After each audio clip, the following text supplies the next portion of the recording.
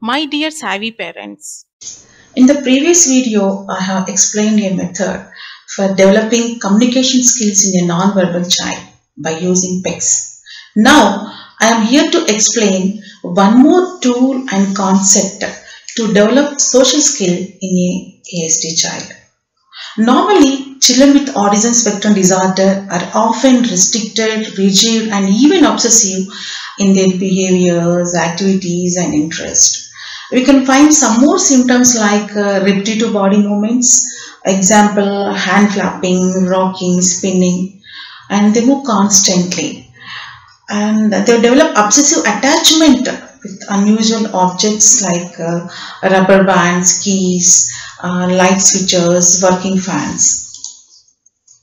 But uh, because of all these uh, unusual behaviors, the children with the autism spectrum disorder uh, have having trouble with the communication and social interaction and because of that again they will find difficulty to attend parties and social gatherings but with all this uh, to overcome all these problems here is a tool which we use normally uh, it is as a social stories these social stories are used uh, to improve social skills of people and child uh, with autism spectrum disorders and uh, to teach communication skills.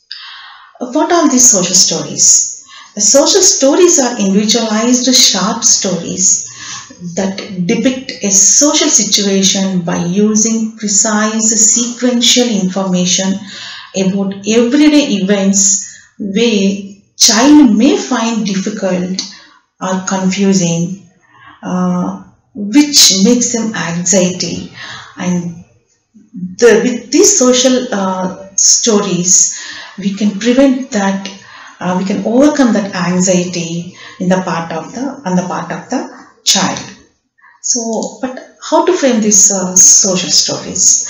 I can say that uh, we should keep in mind while framing the social stories these five components descriptive, perspective, directive, affirmative, and uh, cooperative. Uh, in the descriptive part, uh, this it answers the WH questions which are relevant to the situation. The perspective part includes opinions, feelings, ideas which are related to the situation. The directive part, it includes uh, uh, responses uh, from the child for that particular situation. The affirmative part includes the conclusion of story with the affirmation of the child.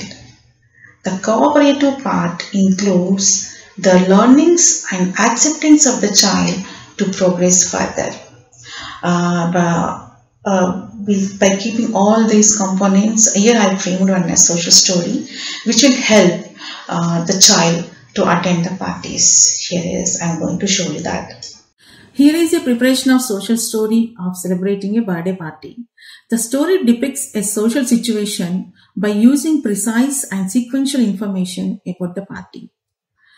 The story to be told and prepare a child well in advance.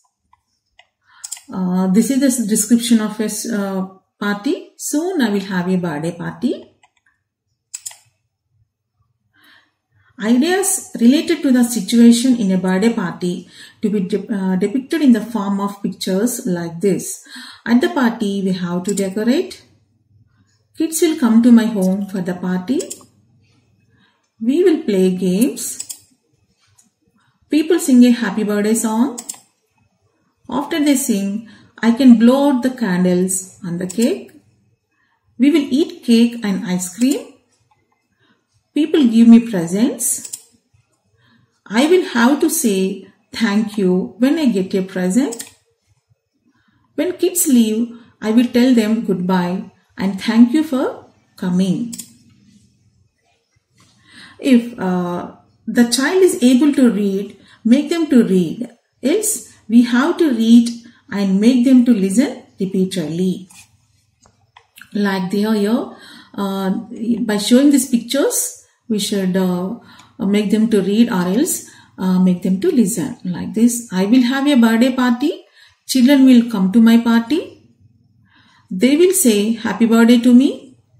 They will bring presents that I can open after we eat birthday cake. We will play games at my party.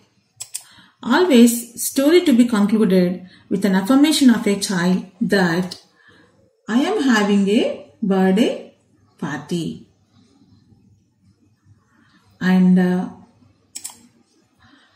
also make him to read I can go to a birthday party uh, for attending other parties. Meet you again. Stay home, stay safe.